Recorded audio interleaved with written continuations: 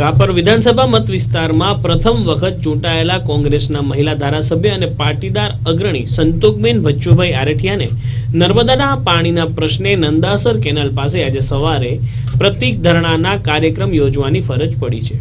આ કાર્યક્રમમાં ધારાસભ્ય ઉપરાંત જાણીતા પાટીદાર આગેવાન ભચ્ચુભાઈ આરેઠિયા, કાંતિલાલ વેદ, રાપર શહેર કોંગ્રેસ સમિતિના પ્રમુખ મિતુલભાઈ મોરબિયા, નરેન્દ્રભાઈ દૈયા, ભીમુભાઈ સોલંકી, કાંતિભાઈ ઠક્કર, ચોબારીના સરપંચ શામજીભાઈ કસ્તુરબેન જેઠાલાલ, નવલબેન બાંભડિયા સહિતના મોટી સંખ્યામાં કોંગ્રેસના આગેવાનો, ખેડૂતો અને કોંગ્રેસના સમર્થકો તેમજ આસપાસના ગામના ખેડૂતો જોડાયા હતા.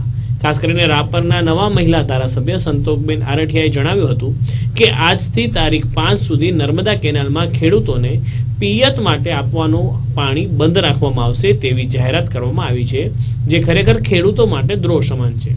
વાસ્તવિકતા એ છે કે ગત તારીખ બાવીસના રોજ એટલે કે ચૂંટણીનું પરિણામ જાહેર થયા અને માત્ર બે દિવસમાં જ મુખ્ય કેનાલનું પાણી બંધ કરી દેવામાં આવેલ છે.